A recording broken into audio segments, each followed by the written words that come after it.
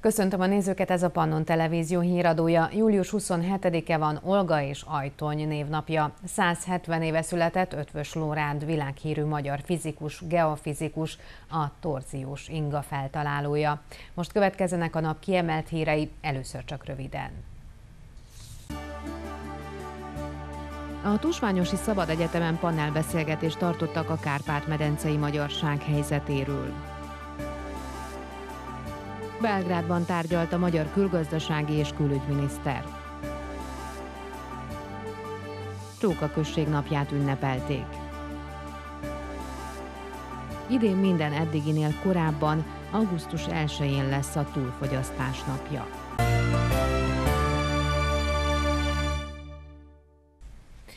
Példaértékű a magyarság helyzete Szerbiában, ez is elhangzott a Tusványosi Nyári Szabad Egyetemen. A tábor harmadik napjának egyik központi rendezvénye a Nemzeti Összetartozás ereje című panelbeszélgetés volt a magyar kormány képviselőinek és az egész Kárpát-medence magyar érdekvédelmi szervezetei vezetőinek részvételével.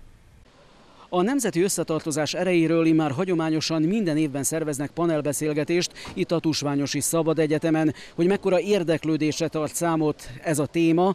Bizonyítja az is, hogy már fél tízkor megtelt a mögöttem látható Lőrint Csaba sátor. 12 résztvevő foglalta el helyét, egyetlen másik panelbeszélgetésnek sem volt még ennyi szónoka. Bevezetőjében Répás Zsuzsanna kiemelte, igen gazdag volt az elmúlt egy év nemzetpolitikai eseményekben, pozitív irányúakban és sajnos olyanokban is, amik nem keltettek jó reményeket bennünk, mondta a Magyar Művészeti Akadémia főosztályvezetője, nemzetpolitikai szakértő. Az európai kisebbségjogi polgári kezdeményezés, a Minority, Minority Safe Pack aláírásgyűjtésének sikerétől elkezdve uh, megkérdőjelezhető és megdöbbentő bírósági ítéleteken át egészen a KMK székház felrobbantásáig minden volt ebben az esztendőben. Erről szeretnénk ma délelőtt beszélni. A külhoni magyar politikai vezetők egyetértettek abban, hogy rendkívüli jelentősége van az anyaország támogatásának az egész Kárpát-medencében élő magyarok szempontjából. Budapest határozott válaszokat tud adni a globális geopolitikai kérdésekre, így a migráció problémájára is, ami az egyetemes magyarság jövőjét is meghatározza, hangzott el a panelbeszélgetés során. Hát Tusványos ez mindig egyfajta évértékelő is, tehát hogy a határon túli közösségek, tehát a Kárpát-medencei magyarság mit ért el az elmúlt időszakban, melyek azok a főbb problémák, amelyek a következő évre elünk, elénk tornyosulnak, és azért jók ezek a beszélgetések, mert rengeteget tudunk tanulni egymás eredményeiből, megoldásokat, és természetesen az, hogy stratégiában gondolkodunk, hogy Kárpát-medencei egységben gondolkodunk, annak ez a fórum kiváló láttatása és együtt gondolkodása. A Szerbia és Magyarország között kialakított rendkívül jó viszonynak köszönhetően a vajdasági magyarság helyzete egyre jobb. Többek között erről is beszámolt Pásztor István, a VMS elnöke. És az elmúlt egy év akár az oktatási törvénycsomag szempontjából, akár a nemzeti tanácsokról szóló törvény vonatkozásában, vagy az anyakönyvi és az önkormányzati törvény tekintetében az bizonyítja, hogy ez a járható út azt tapasztaltuk itt ezen a panelbeszélgetésen is, hogy eh, mindazok, akik ellenzékből próbálják a közösség érdekeit megvalósítani, azok messze sikertelenebbek, mint amilyen sikeresek mi vagyunk. A vajdasági magyarság egy pozitív példa, hiszen egyebek mellett a megvalósulás állapotában van a kulturális autonómia, fogalmazott Semjén Zsolt Magyarország miniszterelnök helyettese. Hozzátette, ma Magyarország Szerbia legnagyobb támogatója, többek között abban is, hogy felvegyék az Európai Unióba. A szerb-magyar kapcsolatok pedig történelmi csúcson vannak. A délvidéki magyarságnak két szempontból is meghatározó jelentősége van az egyik ebből az, ebben az aspektusban, hogy a magyar-szerb kiegyezés szempontjából, a másik pedig, mint e, bebizonyították azt, hogy amikor egységesek össze tudnak fogni, van egy e, markáns vezetőjük, mint Pásztor István, akkor Belgrádba is komolyan kell őket venni, főleg, hogyha hátuk mögött áll Magyarország, Semjén Zsolt kiemelte, ebből a mostani román államvezetés is példát vehetne, és ugyanígy történelmi kiegyezés születhetne Magyarország és Románia között, amiben az erdélyi magyar politikum képezné a hidat. Az elmúlt 70 év legnagyobb külhoni fejlesztési projektjének nevezték Tusnádfürdőn a jelenleg is zajló Kárpát-medencei óvodafejlesztési programot. Péntek délután erről szerveztek panelbeszélgetést óvodafejlesztés tapasztalatok és továbbképzés címmel. A Kárpát-medencei óvodafejlesztési program keretében eddig a felújítások zajlottak, összesen 40 óvodát, illetve bölcsödét újítottak fel, illetve 10 alapkőletétel is megtörtént. A program célja a magyar nemzeti közösség erősítése és az asszimiláció megállítása, hangzott el az eseményen. Egy év távlatából már látszik, érdemes volt belekezdeni. Egészen másként látjuk a világot azóta, emelte ki Hajnal Jenő, a Magyar Nemzeti Tanács elnöke. A figyelmünk az iskola, a középiskola, a felsőoktatás helyett most a legkisebbekre, a gyermekekre, a családra irányul, és hogy mit kell tenni azért, hogy minél több bölcsöde, óvoda nyíljon, hiszen ez az alapja annak, hogy azután a határon túli fiatalok úgy döntsenek, hogy magyar iskolába írassák gyermeküket. Hozzátette, az MNT a magyar állam támogatásával hat szorványközpontot akar kialakítani, három óvodai szorványépületet támogatott, több mint 20 óvodát sikerült felújítani, amik fontosak a magyarság számára. Újvidéken magyar bölcsöde nyílik, Szabadkán pedig magyar óvoda. Nagyon sok magyar sarok került a vajdasági óvodákba, emellett több mint 60 játszótér kialakítására kerül sor. 2010 óta a magyar kormánynak köszönhetően a jövőt úgy tudjuk építeni, hogy a családokra, a legkisebb gyermekekre tudunk odafigyelni, nyomatékosította az MNT elnöke, ez több szempontból fontos. Érdemes gyermeket vállalni, lesz, aki törődik vele, érdemes lesz a szorványban is magyar óvodába iratni gyermekét, és azután mindent meg fogunk tenni azért, hogy az általános iskolába is tovább tudják folytatni tanulmányaikat. Természetesen magyarul. Az óvodafejlesztésnek ez a legfontosabb üzenete. Vajdaságban ütemszerűen halad a program, két új intézmény építésében és 25 felújításában vállalt közreműködést a Magyar Nemzeti Tanács. Az egyházi partnerek segítségével, mondta el Grezsa István. A Kárpát-medencei óvodafejlesztési program nemzetpolitikai szakértője szerint ehhez már biztosították a pénzeszközöket. A két új óvoda közül a legizgalmasabb talán az a szabadkai elképzelés, ahol a magyar állam egyharmadban lenne finanszírozó, egyharmadban a város és egyharmadban a szerb kormány. Ez nem csak magyar óvoda lenne, de egy magyar alapítású, magyar csoportokat is működtető több nemzetiségű óvoda. Ez egyfajta példaszerű együttműködést is jelenthet a térségben, és hát nagyon fontos, hogy több tucat játszóteret is fog telepíteni a délvidéki óvodafejlesztési programban a Magyar Nemzeti Tanács, mint lebonyolító. Az óvodákat tartalommal is meg kell tölteni, ezért egy nagyon komoly továbbképző rendszer működik az egész Kárpát-medencében az óvodapedagógusok részére, tette hozzá Grezsa István. Ennek egyik hungarikuma a magyar népi hagyományokra épülő óvodapedagógiai képzés, amely nagy népszerűségnek örvend. Az óvodafejlesztés szervesen kapcsolódik a gazdaságfejlesztési programhoz, hiszen ha nincsenek óvodák, az emberek elmennek vajdaságból, fogalmazott a nemzetpolitikai szakértő. Kilátásba helyezte a kisiskolák rekonstrukciós programjának mielőbbi megalkotását is. Iradunk folytatásában még visszatérünk az erdélyi rendezvényre.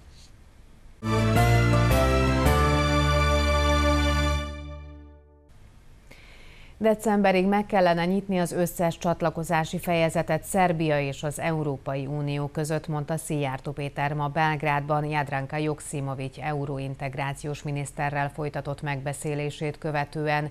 Jadranka Joksimovics megköszönte Magyarország hathatós támogatását Szerbia EU integrációjának gyorsítása céljából, illetve a magyarországi szerb kisebbségnek nyújtott megnövelt anyagi támogatásért is köszönetet mondott. Kiválónak nevezte a két ország viszonyát. Magyarország kérni fogja az EU soros elnökjelöltjétől, Ausztriától az összes tárgyalási fejezet megnyitását az év végéig, szögezte le Szijjártó Péter a belgrádi sajtótájékoztatót követően. A magyar külgazdasági és külügyminiszter elmondta azt is, hogy tájékoztatta Jadránka Joksimovics euróintegrációs minisztert, Magyarország folytatja a vajdasági magyarok gazdasági támogatását a továbbiakban is. Magyarországnak továbbra is kiemelt külpolitikai célja az, hogy segítse Szerbia európai integrációs törekvéseit. Magyarországnak az az érdeke, hogy Szerbia minél előbb csatlakozhasson az Európai Unióhoz. Ez a gazdasági érdekünk is, és ez a politikai érdekünk is. Mi azt gondoljuk, hogy Szerbia felkészült arra, hogy minden tárgyalási fejezetet megnyithassunk még az idei esztendőben. Ezért azt fogjuk javasolni az osztrák elnökségnek, hogy a decemberi kormányközi fordulón az összes eddig meg nem nyitott 21 tárgyalási fejezetet nyissa meg Szerbiával, ezáltal is felgyorsítva a csatlakozási folyamatot. A szerb euróintegrációs miniszter tolmácsolta a szerb kormány köszönetét, amiért Budapest igyekszik felgyorsítani Szerbia számára a csatlakozási folyamatot. Mint mondta, külön örömére szolgál, hogy a magyarországi szerb kisebbségi intézményeknek szánt támogatást a magyar kormánya jövőjében háromszorosára növeli. Naši građani mađarskog porekla koji zaista predstavljaju most saradnje i više ni na koji način to nije prepreka u razumevanju naših dobrih odnosa, već zaista most saradnje. I evo ja moram da se zahvalim i gospodinu Sijartu, ministru Sijartu koji mi je danas predočio da je Mađarska izdvojila tri puta više novca i za dakle, škole i vrtiće koji su dakle, u Mađarskoj vezani za našu nacionalnu, srpsku nacionalnu manjinu u Mađarskoj. Szijjártó Péter Szerbia kisebbségpolitikáját példaértékűnek nevezte, nem csak a régióban, hanem európai szinten is. A két miniszter kiemelte, Magyarország nagyban segítségére lehet Szerbiának az EU-s alapok minél hatékonyabb felhasználásában szerzett tapasztalatok átadása terén is. A két tárcavezető közös sajtótájékoztatóját a késő esti híradó után láthatják.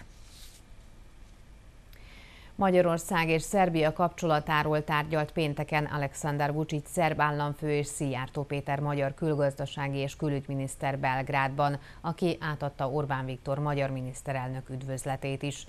A két ország közötti együttműködés a történelem során most van a legmagasabb szinten, amely a kölcsönös megértésen és bizalmon alapszik, állapították meg a felek. A migrációs válsággal kapcsolatos kérdésekben is fontosnak tartják a partnerséget.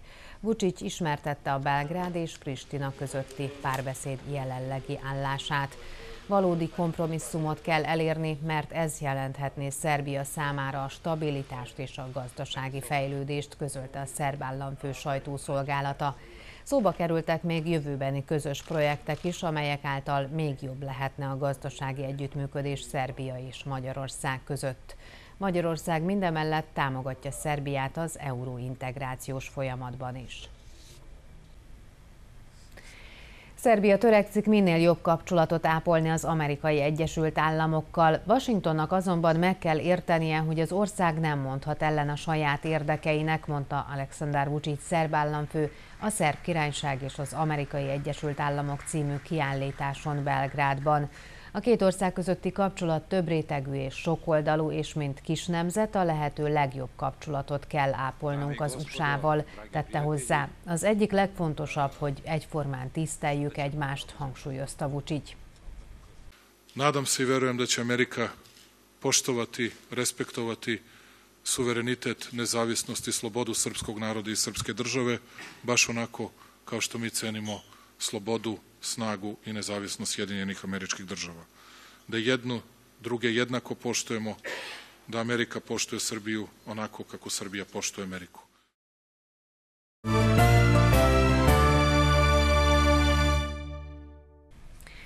Brüsszel hiába indított kötelezettségszegési eljárást Magyarország ellen a stop soros törvénycsomag és az alkotmánymódosítás miatt a testület mandátuma jövő májusban lejár, hangsúlyozta Orbán Viktor a Kossuth Rádió 180 perc című műsorában.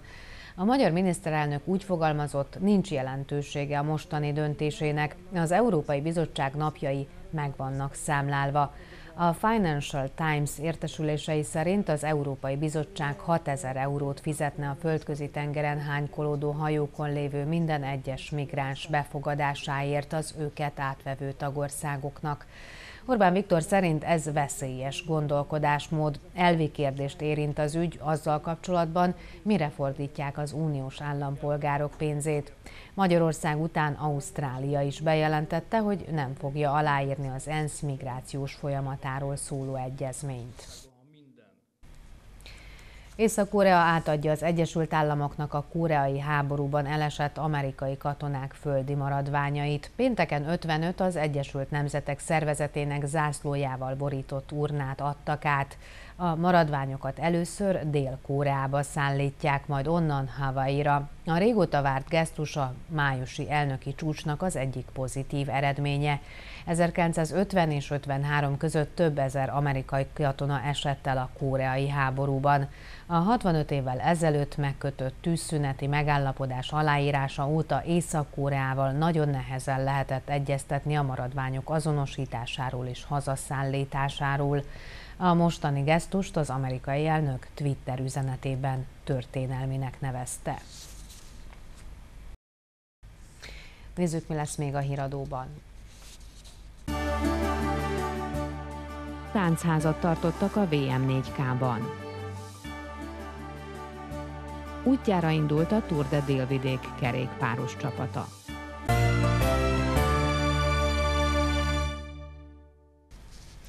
Több mint 145 millió dinárral támogatja jégvédelmi rendszerek és üvegházak kiépítését Vajdaságban a tartományi mezőgazdasági titkárság. A szerződéseket újvidéken írták alá a nyertes pályázókkal.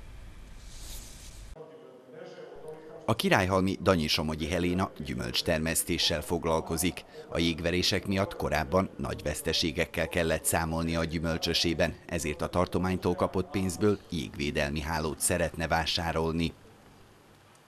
Időszakosan okozott károkat, de ilyenkor volt, hogy lefelezte a termést, vagy ha meg is maradt a termés, ha a virágot nem is vitte el, megmaradt a termés, akkor a, értékesíteni nem tudtuk primőr áruként, első osztályú áruként. Tóth Csongort 1 millió dinár támogatásban részesítette a tartomány. Az adai virágtermesztő a pénzből a fóliasátrak fűtési berendezését szeretné bővíteni. Eddigi munkánk, az eddigi évek folyamán csak egy kisméretű fóliasátra tudtunk fűteni, de viszont ebben ezer négyzetméter fóliasátrat is meg föl tudunk vele fűteni, és bízunk benne, hogy könnyíteni fog a munkánkon. A tartomány a támogatás jelentős részét ezúttal a jégvédelmi hálók beszerzésére ítélte oda. Ovom prilikom danas potpisujemo 136 ugovora. Ukupna vrednost ovih ugovora je oko 211 miliona dinara. Od toga je učešće Pokrajinskog sekretarijata za poljoprivredu 121 milion dinara, a korisnika, to je poljoprivrednih gazdinstava, oko 90 miliona dinara. A mostani támogatásnak köszönhetően mintegy 50 ezer négyzetméter új üvegház is épülhet Vajdaságban. A tartomány erre a célra összesen mintegy 24 millió dinárt ítélt oda 60 termelőnek. Csóka község napja alkalmából háromnapos programsorozatot követhettek figyelemmel az érdeklődők a településen. Tegnap Szent Anna napján a kolera járvány áldozatairól emlékeztek meg a Csókai Szent Háromság római katolikus templomban megtartott Szentmisén. Az illetékesek a rendezvény második napján a katolikus temetőben is leróták a kegyeletüket.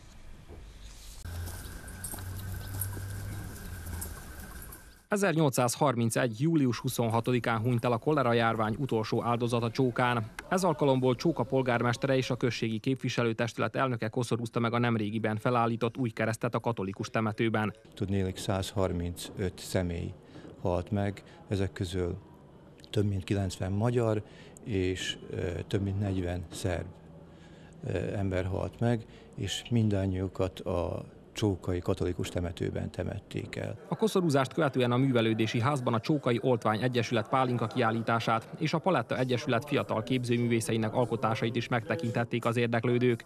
A községi képviselőtestület díszülésén pedig a jól teljesítő diákokat tüntették ki.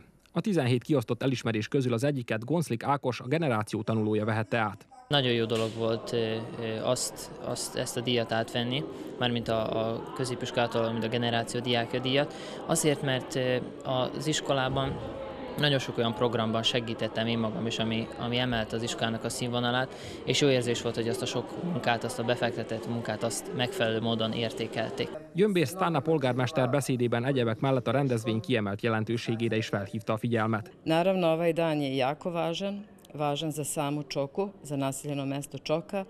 To je uspomena na žrtve kolere, a prvenstveno to je i verski praznik, znači pravoslavni verski praznik Svetog Arhangela Gavrila i katolički verski praznik Dan Svete Ane.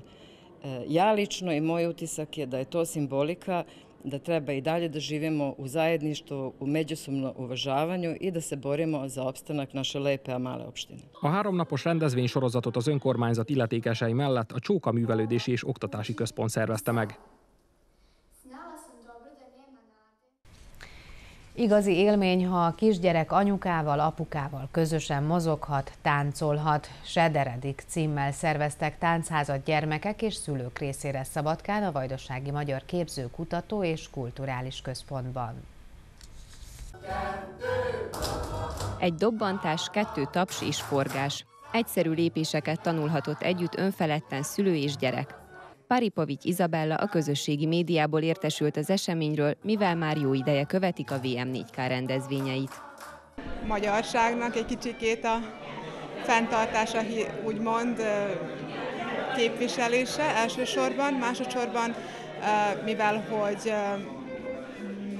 szerb férjem van, abban a forgunk, úgymond mozgunk más körökben is, és szeretném, hogy járjanak magyar néptáncra, és ugyanis szerb, illetve nemzetközi néptáncra jár az idősebbik lányom.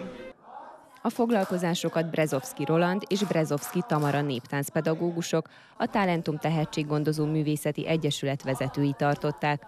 A rendezvényen elmondták, a gyerekek számára fontos, hogy a szülőkkel együtt táncolhatnak a kicsik, és bár a felnőtteknek sokszor nehezen mennek az első lépések, a végére igazi közösségi élménnyel térnek haza a résztvevők egyszerű táncokkal készültünk, polgári táncokat fogunk tanulni, ami ugyanúgy beépült már a néphagyományba, a néptáncba, csallóközi, felcsiki, polgári táncokat fognak elsajátítani a szülők és a gyerekek, akár a szülő tanul a gyerektől, vagy a gyerek a szülőtől, tehát tényleg ezek olyan egyszerű és könnyed lépések, játékosan meg lehet őket csinálni, nagyon szépen le lehet őket bontani, egyszerűen megtaníthatók és egyszerűen megtanulhatók, és a végét pedig egy kis modvai tánccal zárjuk.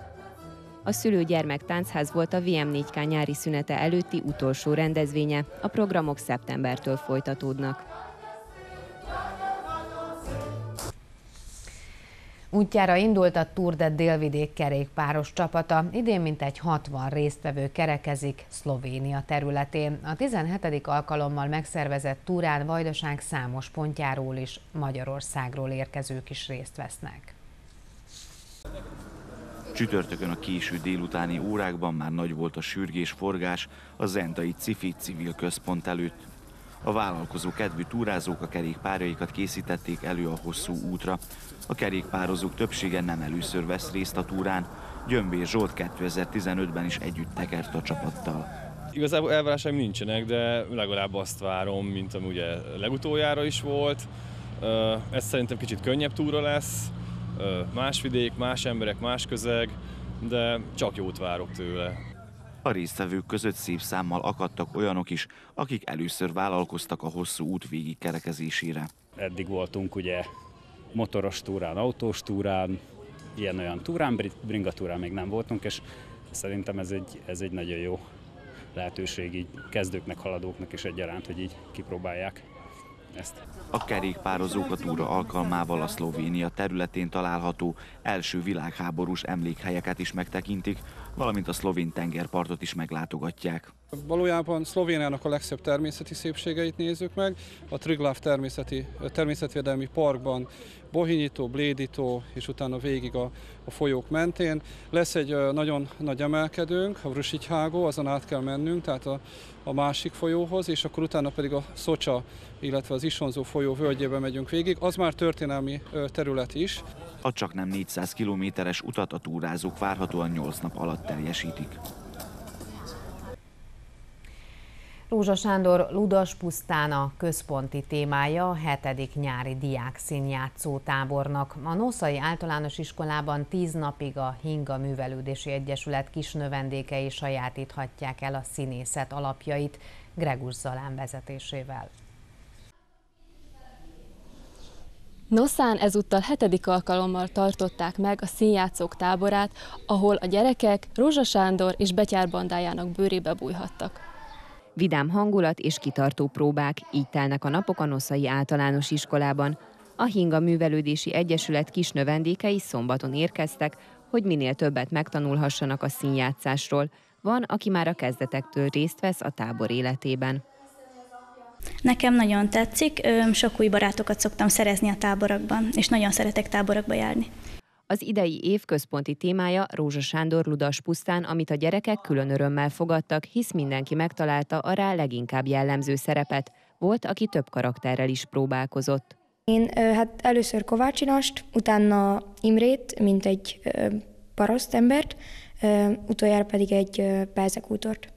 Gregus Zalán színész, a tábor vezetője szerint a vajdasági magyar színjátszásnak szüksége van a tehetséges utánpótlásra, ezért fontos, hogy a gyerekek örömmel játszanak. A próbákat az végül is hétfőn kezdtük, tehát ez pár napja, de nagyon lelkesek a gyerekek, nagyon ügyesek, okosak, és a szöveget is már nagyjából ugye tudják. Az idei táborban hét színjátszó vesz részt, akik a Hinga Művelődési Egyesület tagjai. Minden nyáron tartunk egy ilyen tábort, ezzel főleg a saját színjátszó csoportunk tagjainak szól, ugyanis a tábor keretében készül el a következő évadra szánt előadásunk, tekintettel arra, hogy tanév közben a gyerekek egyéb elfoglaltságai miatt nehézkes és hosszadalmas a próbafolyamat. Az idei tábor különlegessége, hogy alkalmi festőműhelyel is színesedik. Szombaton a Vajdasági Képzőművészeti Kör tagjai látogatnak el a településre, ahol a hét gyerekkel közösen alkotnak majd. A színdarabot július 31-én a tábor utolsó napján mutatják be. A programot a Betlen Gábor alapkezelő ZRT támogatja. A testvérvárosi kapcsolatoknak köszönhetően több zentai diák is magyarországi táborokban pihenhetett júliusban. A tanárok és az utazáson résztvevő tanulók egy sajtótájékoztató keretein belül számoltak be az élményeikről. Nyolc általános iskolás diák és kísérő tanárai gödöllői kapcsolatok által részt vehettek a Balaton-Lellei Nemzetközi Ifjúsági Táborban. A Budavári Önkormányzat által szervezett táborozáson tíz középiskolás diák és kísérő tanáraik vehettek részt. Ők július 13-ától 26-áig Budapest mellett Horányiban és Zamárdiban pihenhettek, szórakozhattak és ismerkedhettek. Az ebben az évben megvalósult kirándulásokat, táborozásokat a Gödöllői önkormányzat részéről biztosítva voltak a gyerekek táboroztatása, az ENTA önkormányzata pedig biztosította a gyerekek és a tanárok szállítását. A Budavári önkormányzat esetében az egész projektet a Budavári önkormányzat biztosította, értem itt a gyerekek szállítását és a két táborban való részvételt. Számunkra rendkívül fontosak a testvérvárosi kapcsolatok, hiszen ezzel erősítjük egymás összetartozását. Közös együttműködésről írt alá pénteken szerződést a Szabadkai Gerontológiai Központ és a SZÚ Team Polgári Egyesület. Az együttműködés célja, hogy az időseknek olyan személyre szabott testmozgást készítsenek, amelyel javul a fizikai állapotuk. A tornagyakorlatok segítségével a Gerontológiai Központ lakóinak megőrizhető a vitalitása és az egészsége, ami a hosszú élet titka, hangzott el a sajtótájékoztatón karbofuránnal, azaz furadánnal bekent pulykalábakra bukkant az Árkusz Környezetvédő Egyesület herpetológiai szakcsoportja 300 méterre a szervezet által gyerekek számára rendezett sátortábortól Topolyán. Arkai Ákos az Arkusz elnöke elmondta, ennek a vegyszernek a használata Szerbiában már 2014 óta tilos. A mérgezett lábakat a védett Topolya völgyei természeti parkban találták. Szerbiában évente több védett állat halálát okozza a furadán, mezőgazdasági termelők még továbbra is használják a munkájuk során a tiltás ellenére, de olyan esetek is voltak, amikor szándékos mérgezés történt. Idén minden eddiginél korábban augusztus 1-én lesz a túlfogyasztás napja. Ez azt jelenti, hogy 2018-ban mindössze 212 nap alatt fogja elhasználni az emberiség azt az erőforrás mennyiséget, amelynek egy évre kellett volna elegendőnek lennie ahhoz, hogy a Föld a jelenlegi állapotában fennmaradhasson.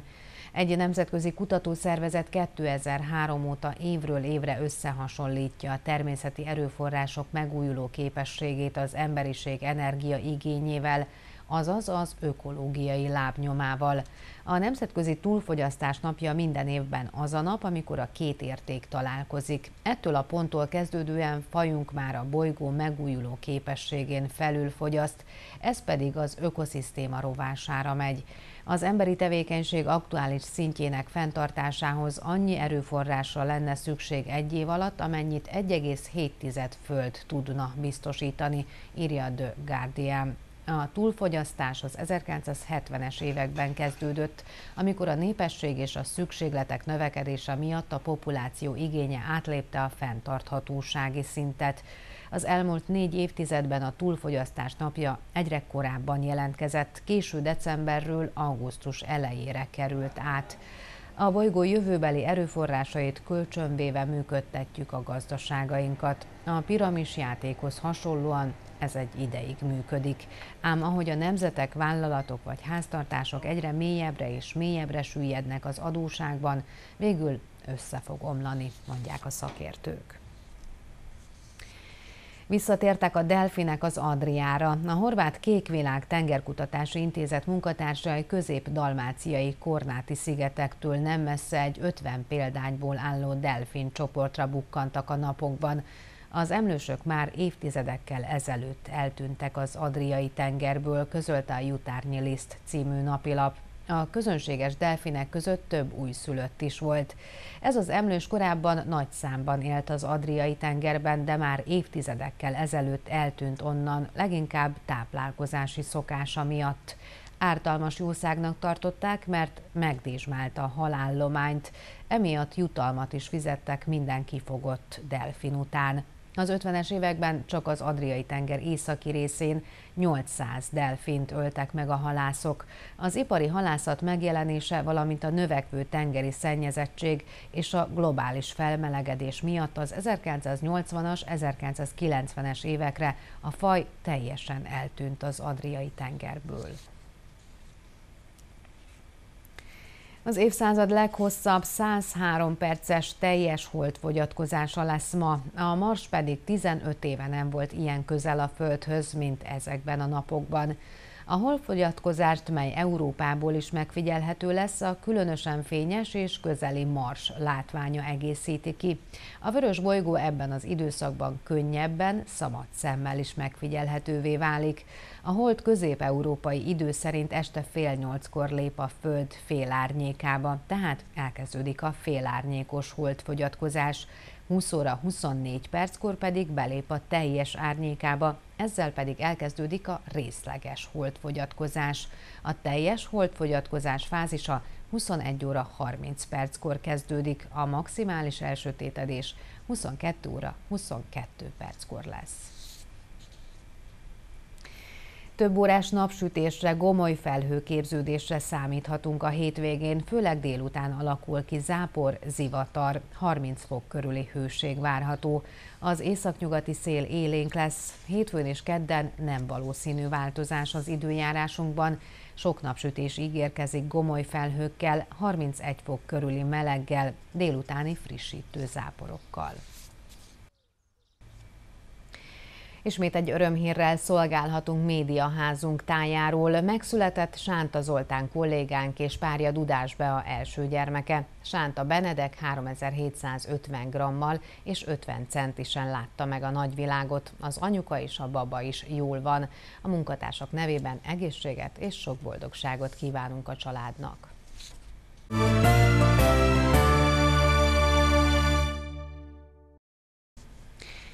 Hatalmas siker küszöbén van a Spartacus labdarúgó klub csapata. A szabadkai együttes az Európa Liga selejtezőjének második fordulójában 2-0-ra legyőzte a Sparta Prahát és szép előnnyel utazik a jövő heti visszavágóra.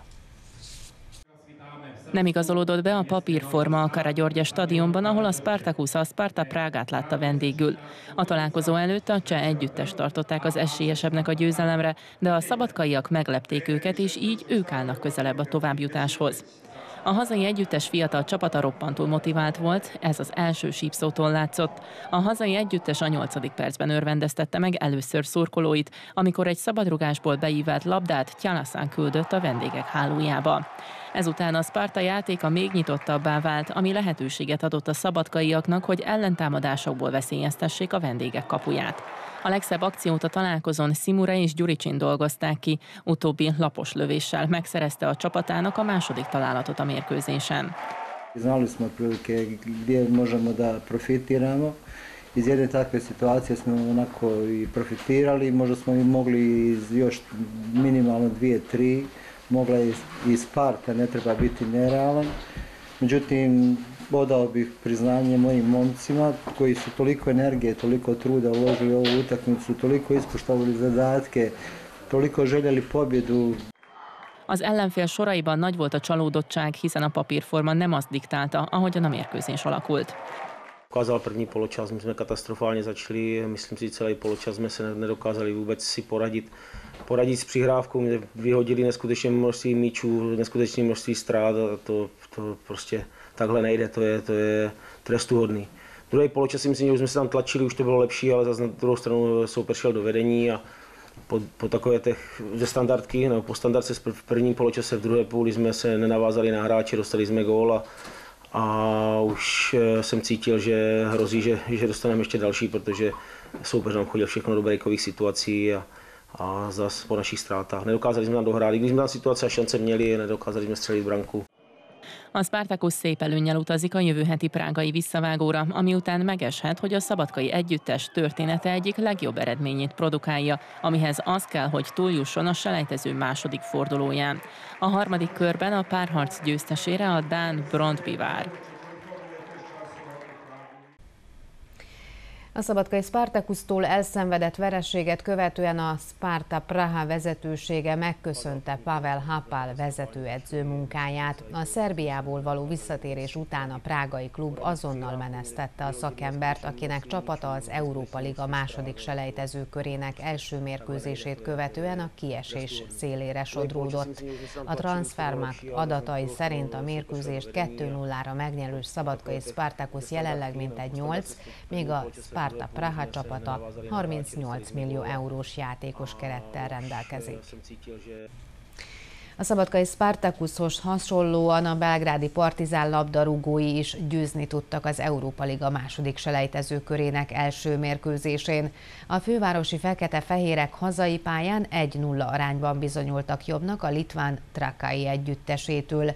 A szerb csapatok közül egyedül a Nisi Rádnicski nem tudott pozitív eredményt elérni, ugyanis a Maccabi Tel Aviv vendégeként 2-0 arányban kikaptak.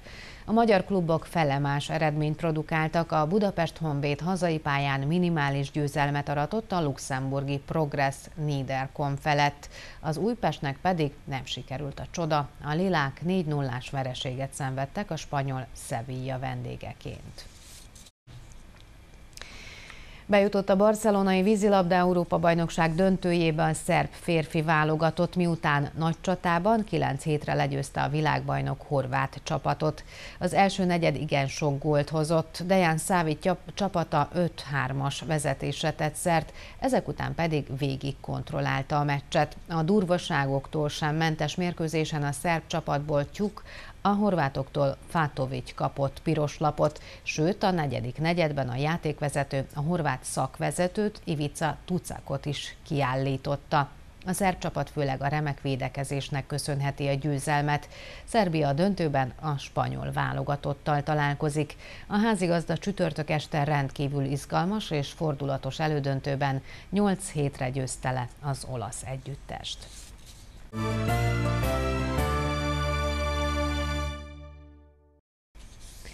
A Tusványosi Nyári Szabad Egyetem harmadik napjának központi rendezvénye immár hagyományosan a Nemzeti Összetartozás ereje című panelbeszélgetés volt a magyar kormány képviselőinek és a Kárpát-medence magyar érdekvédelmi szervezetei vezetőinek részvételével.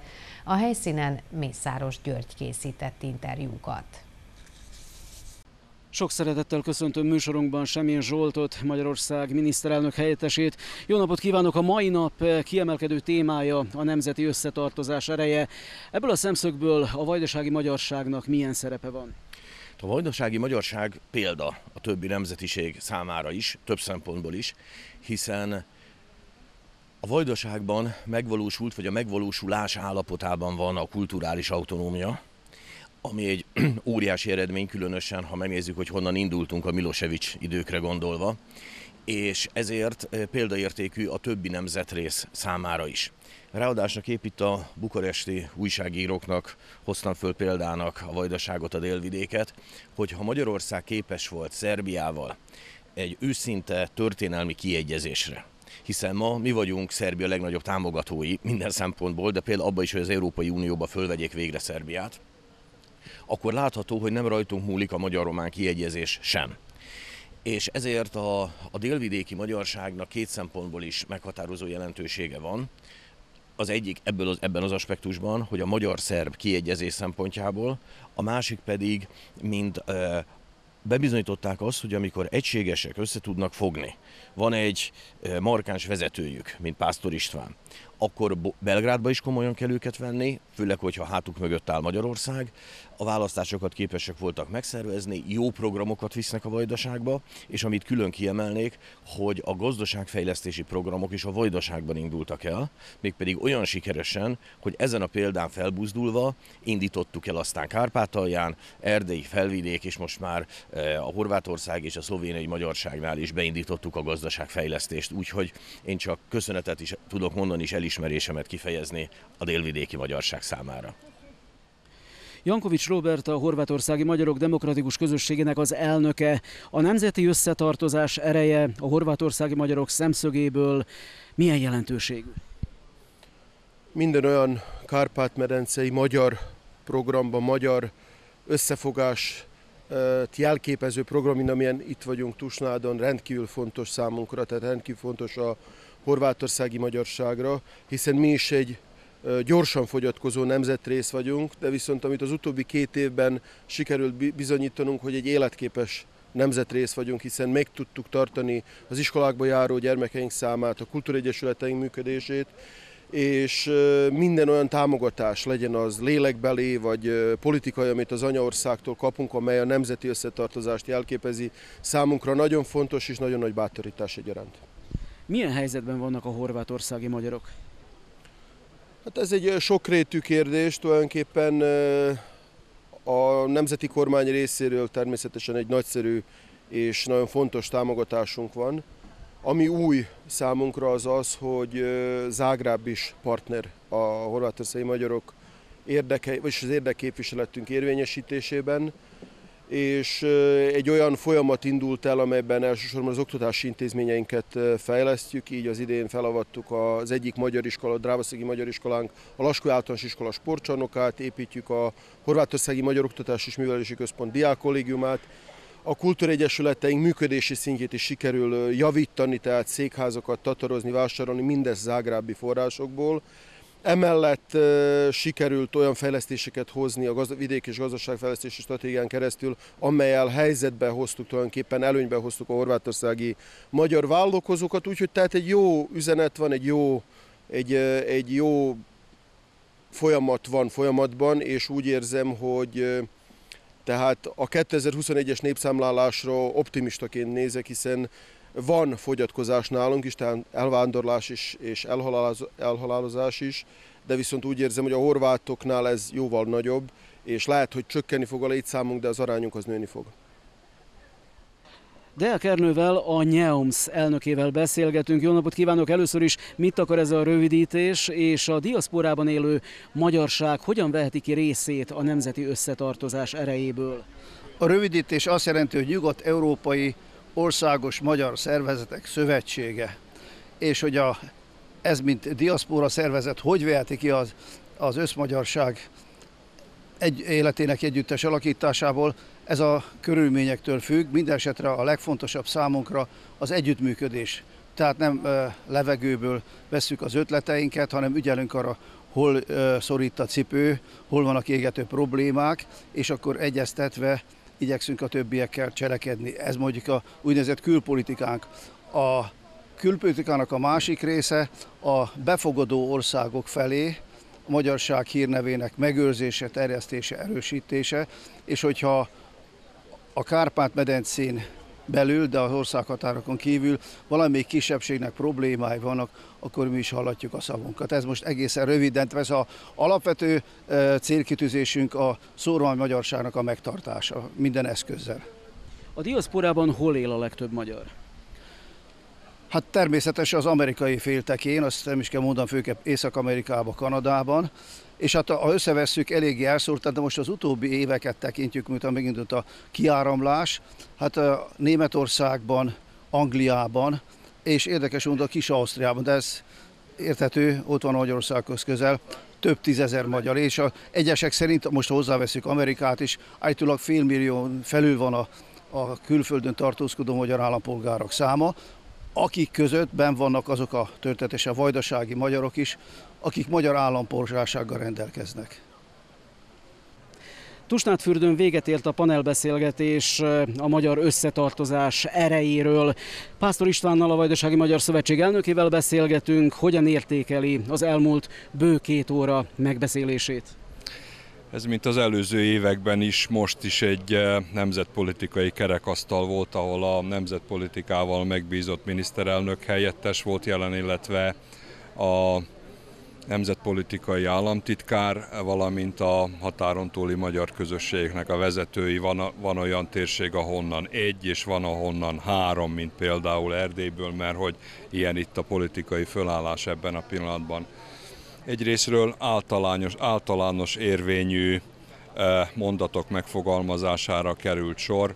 Elsősorban a nemzetépítés szempontjából a most indult eh, kormányciklus keretein belül, azoknak a folyamatoknak a folytatásáról, amiket az elmúlt nyolc évben közösen indítottunk el, és ez mindenféleképpen minden egyes nemzetrész számára, így a vajdasági magyar közösség számára is fontos, mert eh, megerősíti azokat a eltökéltségeket, azokat a megbeszéléseket, amiket a választás előtt elvi szinten eh, elértünk, illetve megerősíti a mi szándékainkat a megvalósíthatóság szempontjából. Folytatni tudjuk majd eh, mind az intézményi rendszerünknek a támogatását, mind pedig a gazdaságfejlesztési programnak a továbbvitelét 2019-től. Emellett az általános érvényű kérdéskörön kívül mindenkinek lehetősége teremtődött arra, hogy a saját közössége szempontjából egyfajta helyzetjelentést tegyen.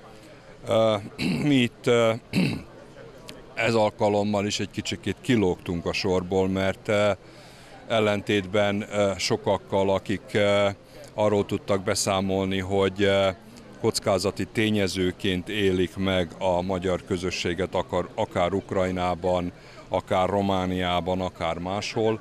Mi azt tudtuk újra elmondani, hogy mi hál' Istennek nem ebben a helyzetben vagyunk, köszönve annak a körülményrendszernek és azoknak a stratégiai döntéseknek, amiket meghoztunk annak érdekében, hogy a legitim szerb politikával partnerkapcsolatban, koalíciós kapcsolatban építkezzünk, vállaljunk felelősséget. Szerbia mindennapjainak a, a jobbítása szempontjából, még akkor is, hogyha ezek a döntések nem mindig jók, nem mindig eh, kedvezőek, és nem mindig eh, eh, olyanok, hogy az optimális megoldásokat hozzák, hanem a lehetséges megoldásokat forszírozzák, és ezzel kapcsolatban kell, hogy közösséget, illetve felelősséget vállaljunk, de emellett ez a koalíciós megállapodás arra tesz lehetőséget, vagy arra teremt lehetőséget, hogy a mi ügyeinket, amiket a koalíciós megállapodásban megfogalmaztunk,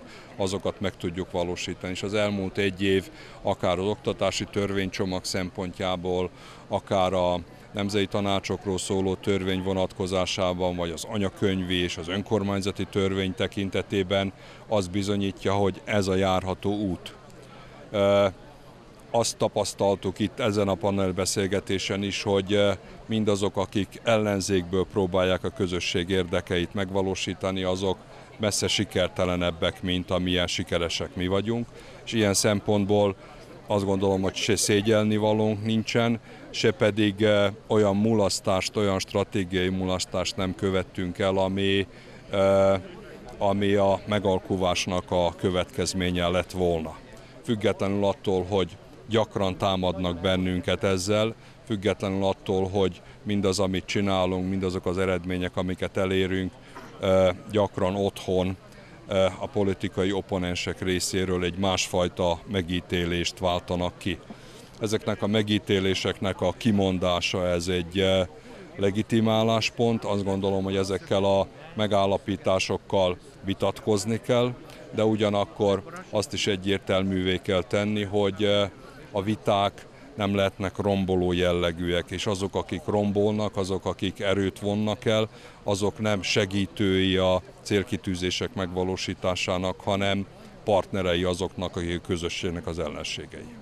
Nagyon szépen köszönöm, én ehhez még csak annyit tennék hozzá, hogy Semjén Zsolt, illetve Potápi Árpád János is egyértelműen azt mondták, hogy a vajdasági magyarság helyzete példaértékű az egész Kárpát-medencében. Egyetért ezzel? Azt gondolom, hogy sok tekintetben ez így van. Persze eh, nehéz az embernek az öndicséretbe eh, bonyolódnia, ha bár eh, Dajcs képviselő úr után szabadon azt kell, hogy mondjam, hogy önmagunk dicsérete olyan fontos, hogy másnak nem engedhetjük át ezt a feladatot. Van Elnök... mivel dicsekednünk. Köszönöm szépen. Elnök úr, köszönöm a beszélgetést. Pásztor Istvánnal, a Vajdasági Magyar Szövetség elnökével beszélgettünk Tusnát fürdőn. A jelenlegi magyar kormány egyik kiemelt célja a határon túli magyar közösségek további támogatása. A Tusványosi Nyári Szabad Egyetemen ma kerekasztal beszélgetést szerveztek a mostani négy éves kormányzati ciklus prioritásairól. Gulyás Gergely miniszterelnökséget vezető miniszterrel Mészáros György beszélgetett. A Pannon Televízió vendége Gulyás Gergely, Magyarország miniszterelnökséget vezető minisztere. Jó napot kívánok! Az elkövetkező négy évben a mostani kormánynak milyenek a célkitűzései, ami a külhoni támogatásokat illeti? Jó napot kívánok! Szeretettel köszöntöm ismételten a Pannon Televíziónak a nézőit.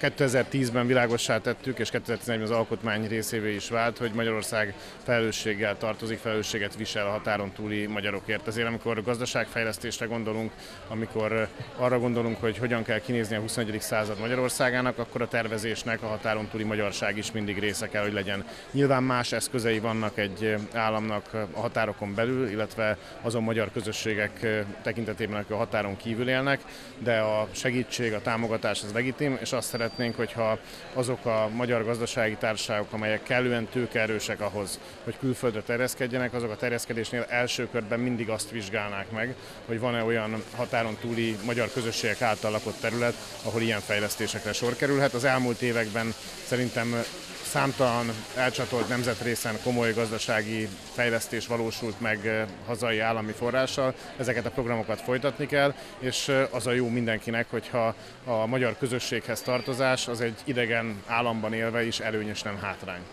a délvidéki magyar közösség eh, fejlesztésével, támogatásával gyakorlatilag a két állam kapcsolata is erősödik, tehát Szerbia és Magyarország kapcsolata is erősödnek. Igen, Szerbiánál az a pozitív helyzet áll most fenn a szerb-magyar kapcsolatokban bekövetkezett pozitív változások miatt, hogy a szerb kormány szerintem helyesen nem ellenségként tekint Magyarországra, hanem úgy gondolja, hogy ha a gazdasági fejlesztés az ország bármely területén magyar segítséggel megvalósul, az számára is jó, a Szerbia számára is előny. Ezért fontos az, hogy ezek a kapcsolatok fennmaradjanak, és szerintem minden egyes ország azzal jár jól, hogyha a saját országa területén értéknek tekinti az ott élő őshonos nemzetiségeket.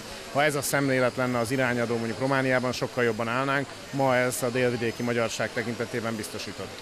Ez azt jelenti, hogy a délvidéki magyarsággal történő együttműködés példaértékű, és talán ugyanezt lehetne átültetni, ez egy délelőtti panelbeszélgetésen is elhangzott mondjuk a Romániával történő kapcsolatokba is valóban a délvidékkel megvalósuló együttműködés a jó példa. Az a baj, és azért nehéz ezt átültetni, valóban jó lenne, de azért nehéz ezt átültetni Románia esetében, mert a román kormány és állam pillanatilag más, máshogy áll a Magyarországgal való kapcsolatokhoz, mint ahogy Szerbia.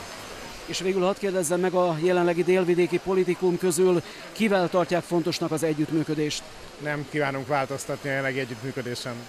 Ez azt jelenti, hogy a Vajdasági Magyar Szövetséggel és Pásztor Istvánnal tehát tartják a kapcsolatot. Természetesen Pásztor elnök úr minden a határon túli magyarságot érintő kérdésben fontos partnere a kormánynak, és általánosságban is azt tudjuk figyelembe venni délvidéken, ami az ő véleménye szerint is a helyi magyar közösségek számára pozitív és előnyös. Természetesen ez nem jelenti azt, hogy Pásztor Istvánnal ne lehetne délvidéken vitatkozni, de a magyar kormánynak stratégiai partnere Pásztor István és által vezetett politikai közösség. Gulyás Gergely miniszter úrnak köszönöm szépen, hogy a Panon Televízió rendelkezésére állt. Tusnád fürdőről Mészáros György tudósított.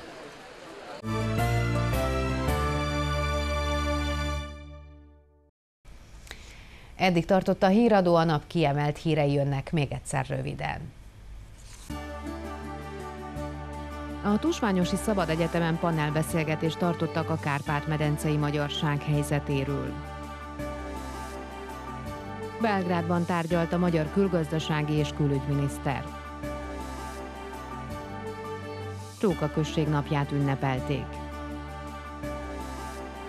Idén minden eddiginél korábban, augusztus 1-én lesz a túlfogyasztás napja.